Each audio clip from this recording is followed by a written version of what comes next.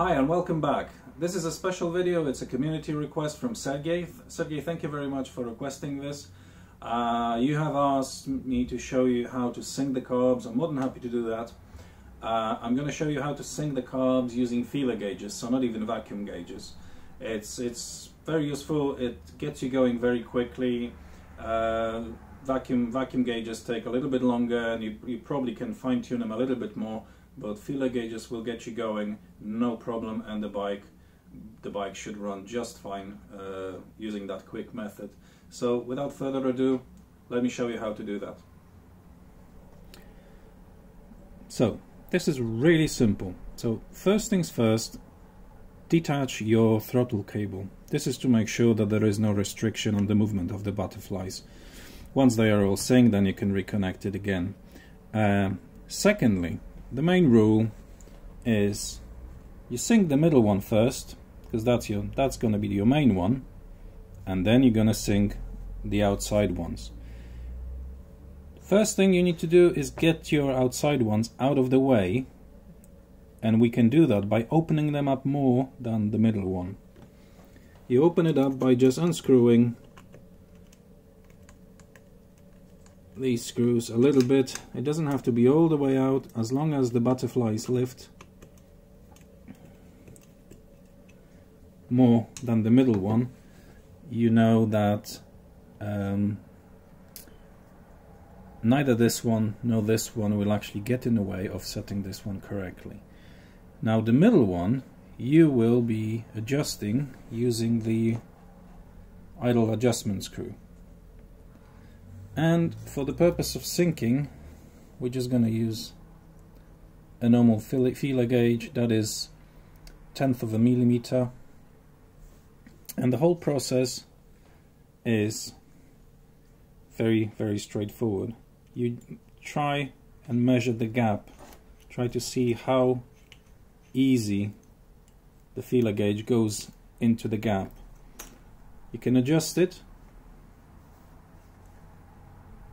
by un unscrewing or screwing in the uh, the idle the idle um, the idle screw and trying it again until we, you're happy with the actual positioning. Now that is, for example, very very tight now.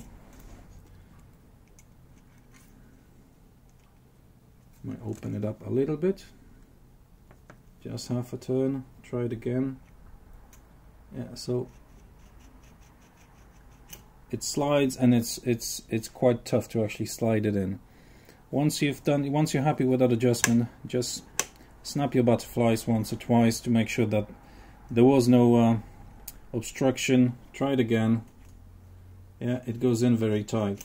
So now you have this one set to what you roughly know how it feels when you put the feeler gauge in and out. You can start with the other two. Now the other two as I said they are wide open at the moment so we can try, we can start and start screwing it back in to close it, close the gap. And try it. Now that is tight, but it's not as tight as this one. So we can adjust it a little bit more. Try. Still slides in easier than this one a little bit more.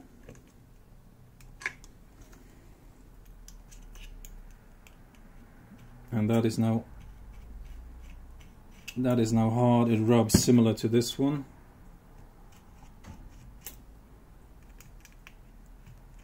This one still feels a little bit uh, easier so we're going to do a tiny adjustment. Snap the butterflies Try again.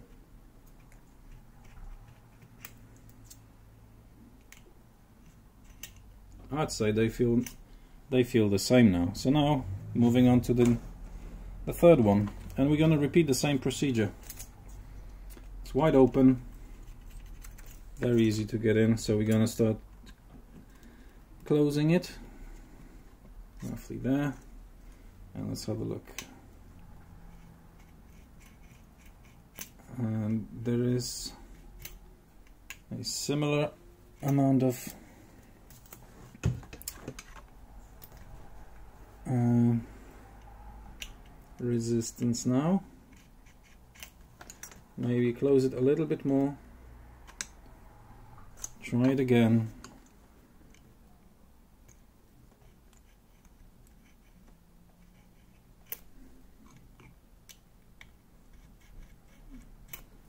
snap it again.